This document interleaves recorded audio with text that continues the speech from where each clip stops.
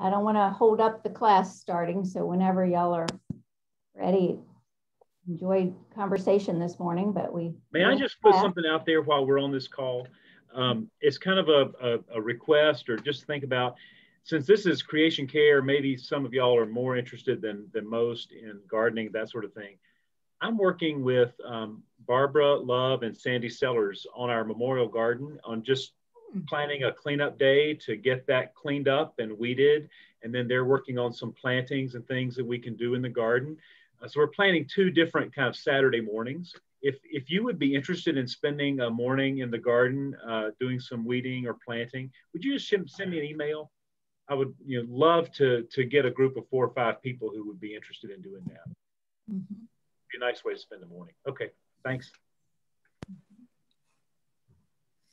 Okay, well, I think um, we've got some folks uh, continuing to join, and that's great. Uh, but but we may get started. Um, I, I want to say thank you to Jane and to the other members of the Growing Together small group who um, and other uh, others from Creation Care who just uh, I bugged Jane a couple times about whether she could help with the class today, and she said yes. Um, so thank you, Jane. You know, it's the timing was good for Earth Day, and um, this spring, up until this latest cold snap, the spring has just been so beautiful. Hmm. Um, it, it, it's uh, it's a good time for us to reflect on creation care. Jane, do you want to say anything before I do my little bit at the beginning? I think so. Um, yeah, I think I'd like to talk about the creation care team and what we're going to be presenting um, this morning. So uh, there has been some type of creation care team at First Presbyterian probably since the 90s. And um, yeah, I mean, there have been projects like solar panels that have been talked about for decades. So, um, and, and that's one of the things that we do is we, you know, we work with the church to make sure that we are doing the best that we can to protect God's creation in the way that we manage our facilities, but also to educate um, our members about what they can do at home and and then to, to reach out to help um, to partner with other communities who are doing the same thing. In fact we have a great partnership coming up with um, the um, church across the street um, central united methodist that i'm not going to take time to tell you about now. So the creation care team recently um, learned about a, a, new project that is put together by the Creation Care Collaborative, and they're calling it Growing Together. And it is an educational program that, um, that they present monthly for five months, and each month there's a different topic.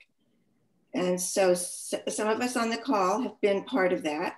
And so what we're going to do today is we're going to review um, the last, the last um, class, if you will, that that they presented and give you some of those um, some of those learnings.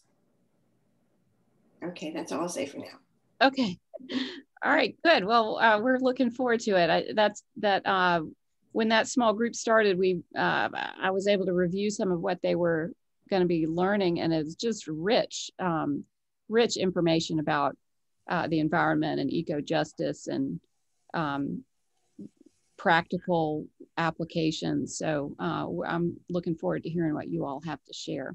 Let me start us off with a prayer, and then I'm going to do just a few minutes of, uh, of a little biblical reflection, and then uh, we'll turn it back over to the to the group. Um, let's let's pray. Oh God, we give you thanks for your love and your care, and today we give you thanks especially for uh, creation and uh, the beauty that that it brings and the responsibility it brings as well. We thank you for the opportunity to reflect on the gift of creation uh, and, and our role in it. Uh, open our ears, our hearts, our minds to hear what it is you would have us hear today. In Christ's name we pray. Amen. Um, all right, I uh, I will start start off by saying I am not um, an expert on the environment or creation care um, at all. Um, but I did read a good article this week that I want to talk about for just a second. Um, the Presbyterian Outlook, uh, you know, that around Earth Day, all kinds of great articles come out and videos and things like that. Um, and the the um, Outlook had a great article this past week um, by George Fisher, who is an elder at a at Knox Presbyterian Church in Baltimore, and he's a professor emeritus of geology at Johns Hopkins.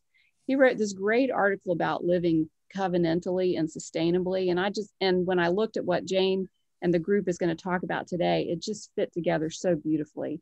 So I want to talk for just a couple minutes about the biblical perspective on um, on sustainable living. Um, I mean, that sounds like such a, a, modern term, but it's really not. It's a biblical um, understanding of the land and of creation and uh, the gift that God has given us and the responsibility to care for it as well. Um, I want to show you a, a, a, small a picture that um, my, uh, where is it? Um, hold on one second um, my sister, one of my sisters lives in Jordan. She works for the State Department there. Um, and this morning she sent me a photo from um, taken from the far north of Jordan. This is the Sea of Galilee here. Um, and so she's in the north of Jordan looking across the Sea of Galilee. Mm. And it just is I don't know how many of you all have had the opportunity to go to Israel or the Middle East and and see the landscape there, but it is um, it is a rocky, uh, difficult uh, landscape to cultivate. Um, dry desert areas, rocks, uh, lots of elevation, and then water um, in the desert. Um, and all these biblical images of, um, of streams in the desert and w- water um, giving way to green growing things um, when you're there and you see the landscape it it kind of brings into um, focus some of what the biblical uh, words about creation are. So i just wanted you to have a little picture in your mind um, just happened to pop in my inbox today. Um, uh, so if you think about the Bible and uh, it starts off, we know, with the story of creation, and um, the the Bible kind of emerged out of this um, agrarian community. That so many of the stories are about uh, the land and about God's people uh, uh, making a living on the land, struggling to survive, holding on to the, their land, and finding a place in it. Um, and and as difficult as it is to farm on that land um, the the biblical uh, narrative kind of tells us this covenant that god has given us um, between god and the people and the land. It's this three-way gift. Um, and we see it all through scripture. Um, in the old testament we have stories like uh, Naboth's vineyard. King Ahab wanted a vegetable garden and he offered to buy this vineyard from Naboth, but who it was not easy to refuse a king who wanted to buy your land, but um, but preserving the land for his family was um, was a part of his covenantal understanding with God, and so uh, um, Naboth wrestled with that. In in the book of Jeremiah, God um, it, it, we hear God's words indicting Judah for uh, kind of ruining the land, um, which, you know, he's kind of talking about you've broken the covenant, but also you've despoiled this beautiful, fertile land into a desert that produces only thorns. And um, Jeremiah also has this moment where he, um, uh, his his cousin um, in the midst of the exile wants Jeremiah to, to buy land and keep it for the family. And Jeremiah knows he's not going to be able to use that land himself, but he does. He buys the land and keeps it for future generations. So this idea that the land is a gift from God and that we we are given this responsibility to maintain it and hold on to it. Um, and, it, and that's part of God's gift of the covenant in the New Testament, we've got all these parables from Jesus about uh, growing things and uh, metaphors for God's kingdom. And I could go on and on about the parable of the um, um, of the soil and the sower. And anyway, I don't want to take up Jane's time, but um, but this article, I'll put the link in um, in the chat, and if you're interested, you can read it. And it helped me understand as as creation care, and this group is going to talk a little bit about sustainable practices with the land. Um, what we can do today, the God's people have been about that since the very beginning, uh, and, and it's a part of our covenantal understanding of God's gift of creation to us. Um, so that's my bit. Um, I'm going to turn it back over to Jane. Um, and I'll put the link to the article in the chat. And thank you, Julie, for that that nice framing for this um, for this hour. And yes, that's what we're going to be talking about today: soil. Um, the the lesson that we're um, repeating is called regenerating soil, compost, and waste. And it really goes into the importance of waste. I'm sorry, the importance of soil um, in in terms of how it can um, help our plants grow better, but also how it can store carbon underground. And in that, in that respect, it can uh, reverse climate change, help to reverse climate change. So um, what we'll be doing today is we'll be seeing two clips from the movie Kiss the Ground, which um, is a documentary that's been well publicized. Some of you may have seen it already. And um, I'm just gonna right now ask Ruth, if she will start us off with a prayer. O divine planet, gift of God, you are our womb, our life, our body. We belong to you. Yet we confess our arrogant unbelonging. We have cut ourselves off from you. We ask forgiveness of the sea and soil, of all that fly or swim or crawl of all the green beings we have harmed. As you fill our stomachs with food and our lungs with life, fill our hearts with the will to be great, grafted back onto the vine, to participate fully, gently, and gratefully in the great dance of all living things. O creating God, may we be like you and one with you in giving life, in creating, not destroying O living creator, O living creation, by your life in us, may we bloom with love and flourish in loveliness. Amen. Thank you, Ruth. So the first uh, clip that we'll see is called The Soil Story. And after that, we will have a breakout group um, before we see the second, the second clip. And Ann Kiefer will introduce um, us to this, to this clip.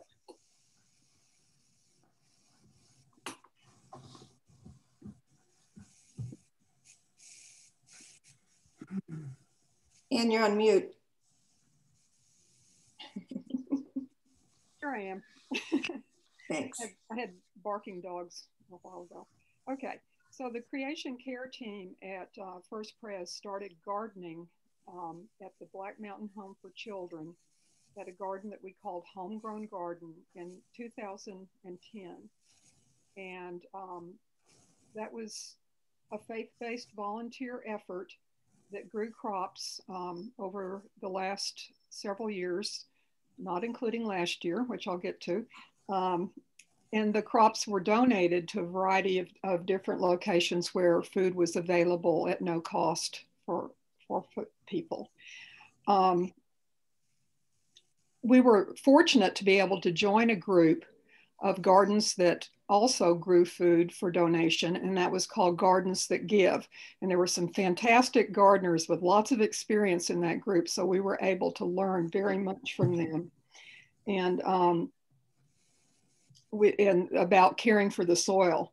So sustainable agriculture or regenerative agriculture, as you may hear about it, describes farming and grazing practices that, among other benefits, reverse climate change by rebuilding the soil's organic matter and restoring uh, degraded soil bi biodiversity, resulting in both carbon drawdown and improving the water cycle. So, some of the practices that we were able uh, to learn through and, and uh, utilize in the homegrown garden were no-till gardening, com using compost and man manure, um, using organic pesticides and herbicides, using raised beds to reduce erosion, crop rotation, and, and growing cover crops. That's what happened last year. Because of the pandemic, our volunteer um, supply was shortened. And so uh, we grew a small crop of potatoes, but, but basically cover crops. Um, and mo but most importantly, what we learned is that the soil is not just a container that we put living seeds in. The soil is alive too, and it needs to be cared for. Um, so it, it, last year, Black Mountain Home approached us, and they at that point had decided that they wanted to take over um, managing the garden. We're still welcome to go there as volunteers. They, it's been put into cover crop again this year, but um, they have um, hired people that can manage that now, and it's a possible training opportunity for people there. Um, so we wanted our congregation to know what what's happened there, uh, that that it is now under new management.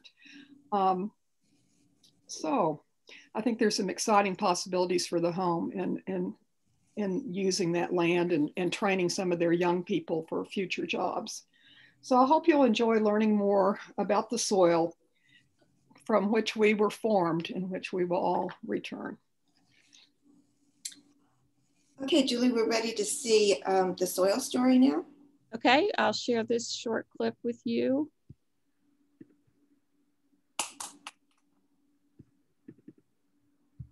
You see that?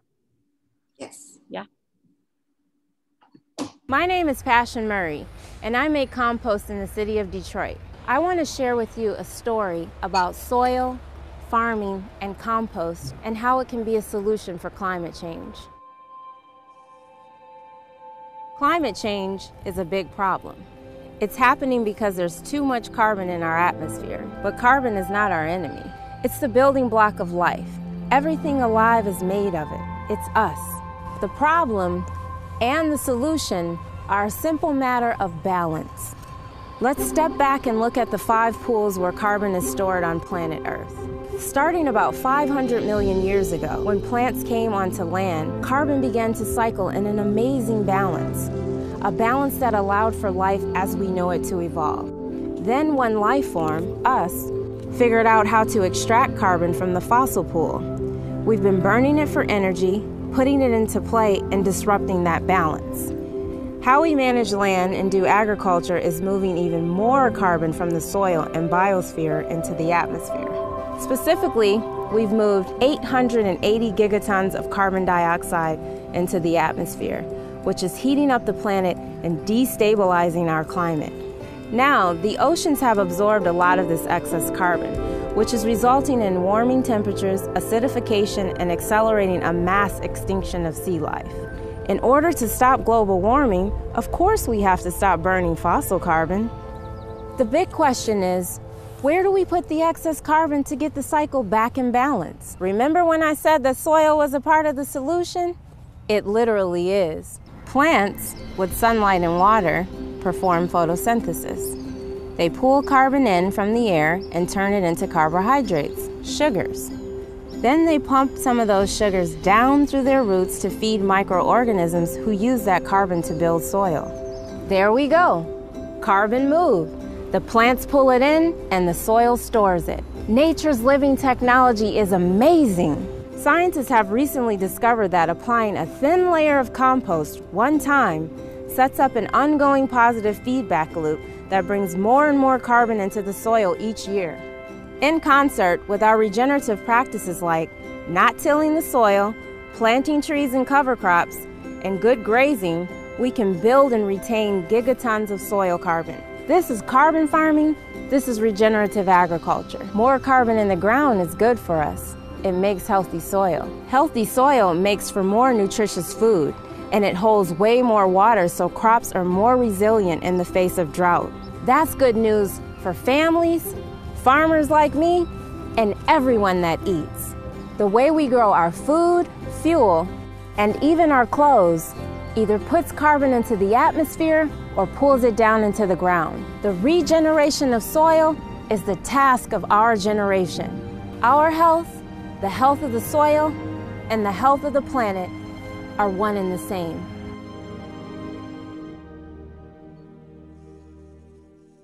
Well, that was a, a quick explanation of the carbon cycle. um, what I want you to remember as we go into the breakout groups is the information that Anne gave us that we no longer have the um, community garden at the Black Mountain Home for Children. Um, so I, I, I, just challenge you to think of other ways that as a church we can participate in helping to um, preserve our soil and yeah, and, and farming it the right way. So uh, Julie, oh, the questions. Would you like me to put them in the chat box? I'm sorry. Uh, sure. Okay. Yeah, that'd be great, Jane. If uh, and I can send them to the breakout group groups okay. after that. Uh, so I think y'all are going to go to breakout groups. We got you're going to have a member of the um, Growing Together small group in your breakout room. Um, Jane, you want to just read the questions out and then we'll. Sure. Um, mm -hmm. First one, how do we live in right relationship with the land and with the soil? And the second, what does living in right relationship with land teach us about ourselves, about God, about the world, and about one another? Pretty, pretty deep questions. um, all right, I'm going to send y'all to breakout rooms and the questions will head your way um, in the chat. Uh, but uh, we'll spend about five or six minutes, I think, uh, talking about right relationship with the land because uh, we've got another clip to show you when you come back. I bet that's pretty rich.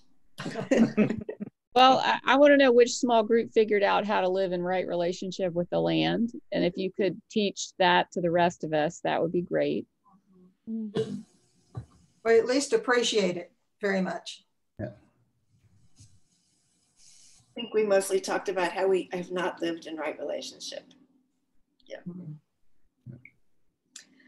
Okay, well, we do have another um, video, and actually, in the group I was in, we already talked a little bit about compost. So this next um, this next clip is uh, called the compost story, and David will introduce this um, clip for us. Thank you, Jane. Um, in living systems, uh, everything is regenerated. Uh, humans are the only creatures on the planet who create waste.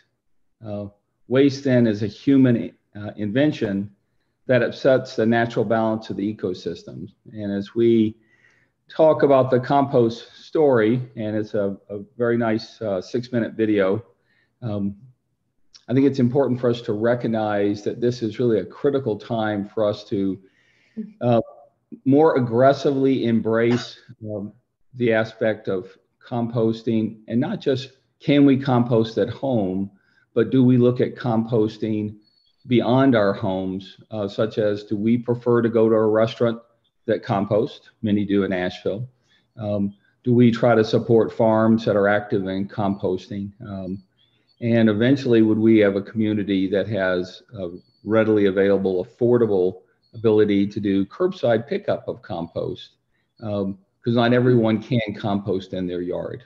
Um, we've got two new puppies, and last week they found two different uh, bear scats in the yard. And so, if I had uh, a lot of food scraps in my backyard, my uh, dogs might have a closer encounter with the bear. Some people disagree about um, that, but uh, that'd be my my concern. Um, part of the compost story regard is also urgent is regarding the methane story. Um, we talk a lot, and our first video talked a lot about carbon dioxide, and it is accounts for about 95% of the green gas effect. But methane accounts for about 5%, but it is 80 times as potent in affecting um, global warming, green gas effect.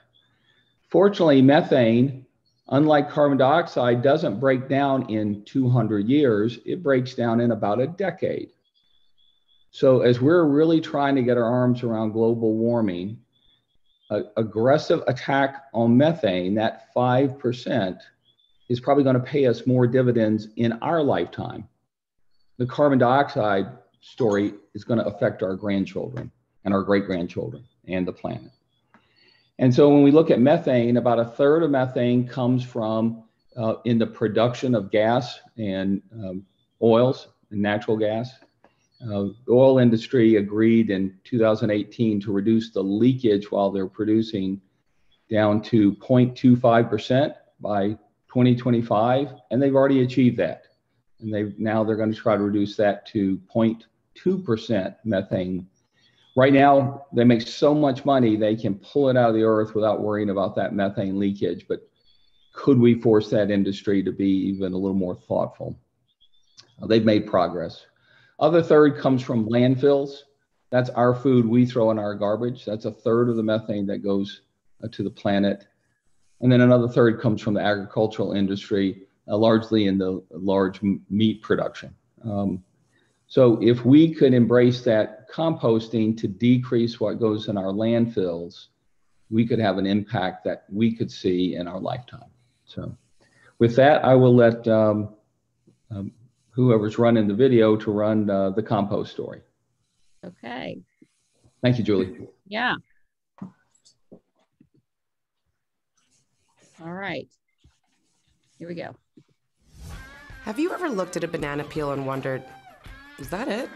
All that time spent nurturing the banana and now it's just waste?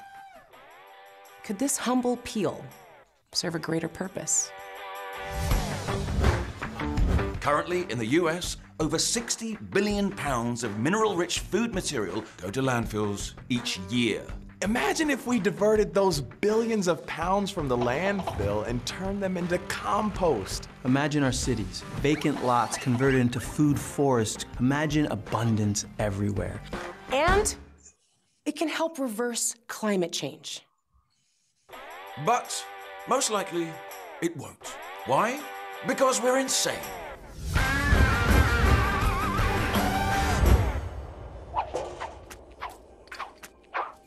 We define waste as anything unused, unproductive, or not properly utilized. But waste is a human invention.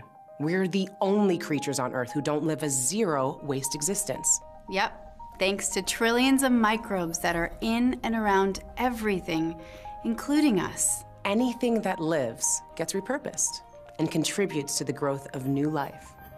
Some 500 million years ago, these microbes brought plants onto the land. The microbes provided minerals and water in exchange for carbon sugars produced by the plants through photosynthesis. This resulted in a terrestrial explosion of life.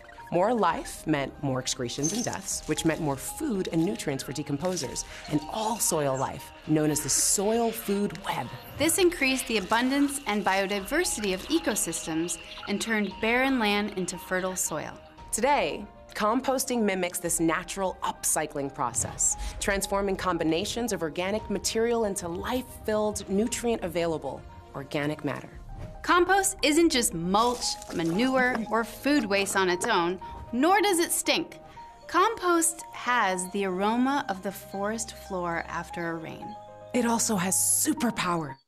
Compost can enhance food nutrition, increase crop yield, and strengthen plants' immune systems, all while increasing the soil's water holding capacity. And compost stimulates plant growth by bringing in microbial life, nutrients, and water retaining humus to depleted soils.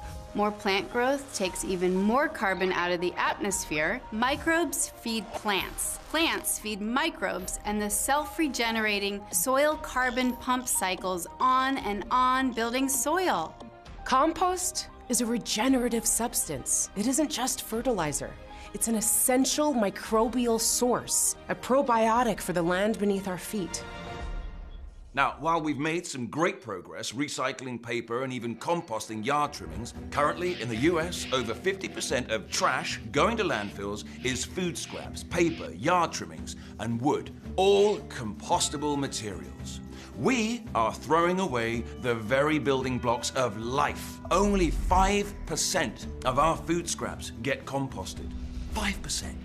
That means over 60 billion pounds of mineral rich food material, much still fully edible. The weight of four and a half great Egyptian pyramids go to landfills each year, and there it rots, creating methane gas, a greenhouse gas up to 86 times more potent than CO2. And it's not just food. Grass, leaves, and clippings, all designed by nature to fall back to the ground and increase fertility, are shipped miles to landfill. Now that's insane. Some city governments are finally stepping up by providing green bins to make composting more available, but too often they're misused. Toxic material, trash, is being mixed with the stuff we grow our food in. Just stop it! Don't put toxins or non organics in that bin, please!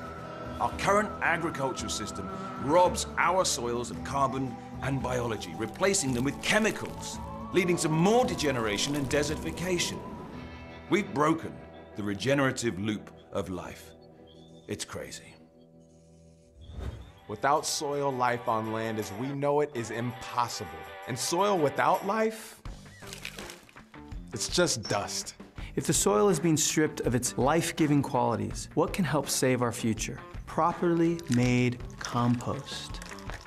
The soil would be spongy again, retaining water and restoring our underground water supplies. Fertile farms producing tastier and more nutritious food and no longer covered in toxic chemicals. Imagine a farm to table to compost to farm system. This is the regenerative system our future depends on. And doing it at home is easier than you think. You can't at home? Use your green bin. If you for some reason don't have a green bin, request one from your city. Or find a neighbor or community garden who can use your compostables. Cities like San Francisco, Los Angeles, St. Louis, and my hometown, New York, are leading the charge. Thank you.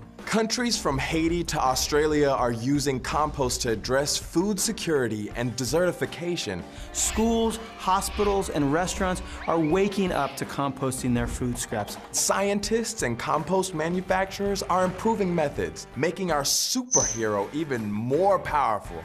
Yes! Life isn't over for the humble peel. Along with other organic material, it can help restore fertility to our soil, regenerate our food systems, clean our water. And it can help reverse climate change. Really.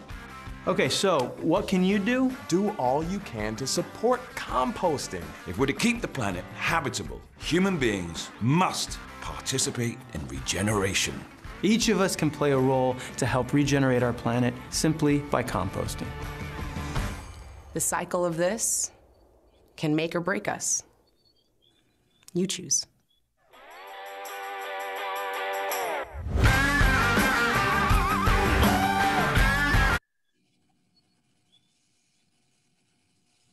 Okay, another quick video there about composting. And I have put the questions for the breakout rooms in the chat. But before we go there, since one of the questions asks about what we can do as a church, um, I want to I want to update you on composting at at FPC. So uh, we had been we have been doing compost for a number of years. We started by the the, uh, day, the, the daycare center, and we um, we were not very pleased with Danny's dumpsters and the, the way that they handled our compost. So we now have a new contract with Atlas Organics. Um, Atlas Organics is actually based in Greenville. And I know there's a lot of carbon emissions coming from Greenville to Asheville to pick up our compost, but they're already picking up at UNC Asheville. So it's not like they're making a special trip. So, and I haven't, I'm very excited about it because we had you know, we had a lot of problems with leaking compost bins, um, just, you know, not being picked up when they should, overflowing, bad, bad stuff. So I'm really anxious to see the new ones um, when I go to church next Sunday. So I think we are then ready um, to go okay. into breakout rooms. Yeah, I'll send you all, and Jane put the questions in as people of faith. What can we do individually to reduce waste in landfills and support regenerative systems? And what could FPC Asheville do to encourage food practices that reduce food waste and support healthy soil and compost? Um, I'm going to be gone when you all get back, but Nancy's going to help um, help you all after that. So um, great. Here you go. Was it enough time to solve it all? Not really, huh? I, I think I hit one of my buttons sooner than everybody else, so they may still be talking. Here we go. I was in the middle of talking in one of my small groups and hit the button and here we are. There's everybody. There's Jane. Okay, well, um, we had a, a, a, good a good conversation, even though we didn't get to the second question, we answered it. So um, yeah, I'm curious from all of you if if you discussed what we can do at, at our church to um, encourage food practices that reduce food waste and support healthy soil and compost. This is this would be really um, useful information for the creation care team. Well, we did have a question as to whether or not individual church members could be encouraged to bring their compost to the church and put it into the church collection barrel um, on Sunday morning so we wouldn't make an extra trip. And if that's possible with the new contract, we would have to find out. Yes. And um, that was brought up before. And the reason we were not able to allow it is that our church produces more than enough compost. so we, um, we, we couldn't we couldn't ask the church we couldn't invite the church members to bring their compost too um, but we did have a good suggestion in our group and that is to find um, a farm maybe a, a nearby farm or um, an individual, even someone who could use our personal compost. Or, or to make community gardens, um, encourage community gardens to uh, make people more aware that they could use their organic waste. And, um, you know, there are lots of community gardens around that, that folks could, I would, you know, I would take my organic waste to community garden. I just hadn't occurred to me. Yeah, for all you people who live in West Asheville, there's a community garden in, in West Asheville. And in light of community gardens, we discussed um, the community garden they have at Grace Covenant or Presbyterian Church and partnering with them to either, you know, help with the garden, figure out how they compost. I'm sure they probably do. Mm-hmm. Um, and that would be a good partnership between us and them. That's, a great idea. Suggestion. We also one question about that would be uh, how how compo composted do, do the materials need to be before they're delivered to such a place? Some of us live in the wilds where composting is difficult because of wildlife that is attracted to it. Um, so if I could just take my banana peel, throw it in, that'd be one thing. But if I have to compost it for six weeks or longer before it can be delivered, I've got a problem.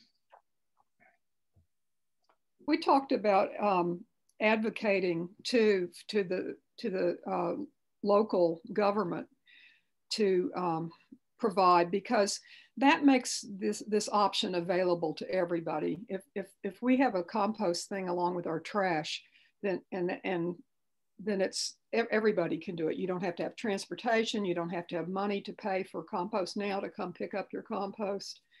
So um, I think that's another another thought. So there'll be a third bin out front next to your recycle and your trash bin. Oh, but maybe we could get rid of that trash bin. What would we be, what would we be putting in there? Mm. Packaging. I know packaging. Yeah, there's not much. I mean, mm-hmm. yeah. yeah. Um, uh, just attention to the chat, um, Scott has put in there uh, one possibility would be if the Creation Care co Committee could help provide a list of local restaurants that compost and or focus on providing takeout items um, like in compostable, you know, takeout containers. Yeah, that's great. Restaurants in Asheville, some of them are getting close to 100% compostable. That would be helpful. Maybe soliciting, you know, folks like the Kesslers that could uh, let us know what restaurants they know of, but maybe compiling a list for all of us would be great. Mm -hmm.